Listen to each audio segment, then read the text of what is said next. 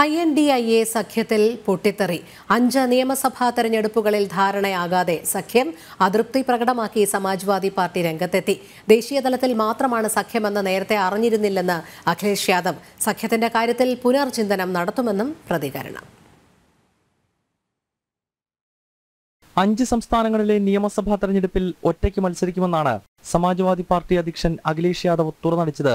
നിയമസഭാ തെരഞ്ഞെടുപ്പിൽ സഖ്യമുണ്ടാകില്ല. സഖ്യം ലോക്സഭാ തെരഞ്ഞെടുപ്പിൽ മാത്രമാകുമെന്നും അഖിലേഷ് യാദവ് വ്യക്തമാക്കി സഖ്യം സംബന്ധിച്ച് ഇപ്പോഴും മുന്നണിയിൽ അവ്യക്തത നിലനിൽക്കുന്നുവെന്നും അഖിലേഷ് യാദവ് വിമർശിച്ചു इंडिया गठबंधन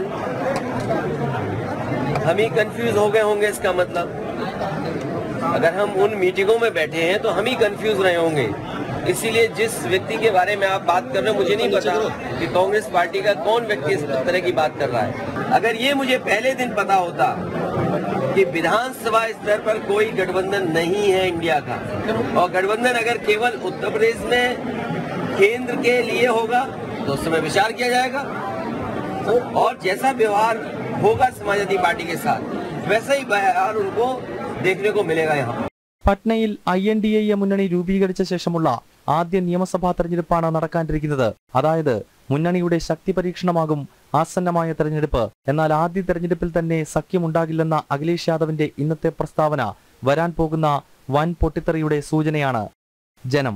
ഡൽഹി